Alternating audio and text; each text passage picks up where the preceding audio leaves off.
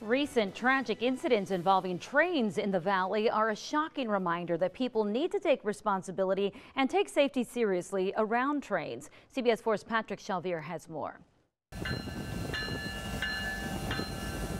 As Texas continues to grow, so has the mix between the public and trains. However, with that growth comes a rise in collisions. According to the Federal Railroad Administration, Texas led the country in 2016 with over 230 highway rail grade collisions, 22 of them resulting in death. If you're in a vehicle and you're stopped on top of those tracks, if a train does appear and begins to approach the area, you will not be able to move out of the way in, in time in most cases.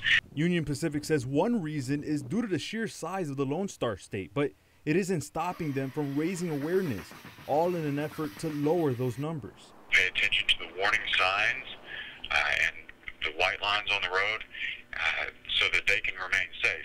Union Pacific says many times drivers ignore laws and, for a number of reasons, choose to either beat out an oncoming train or stop their vehicle on warning lines at crossings. For a train traveling 55 miles an hour, it'll take more than a mile to stop.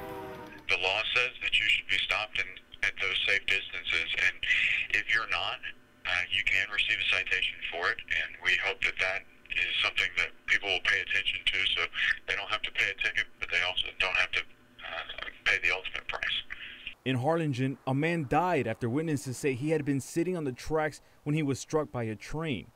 Union Pacific says they want those kinds of incidents, though sad, to be a reminder that next time you come near train tracks or crossings.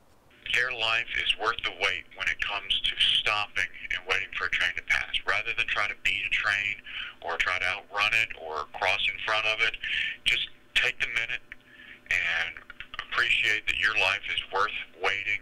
In Cameron County, Patrick Shalvier, CBS 4 News and ValleyCentral.com. According to the Federal Railroad Commission administration, that is, the casualty rate last year was at the highest level in the last decade.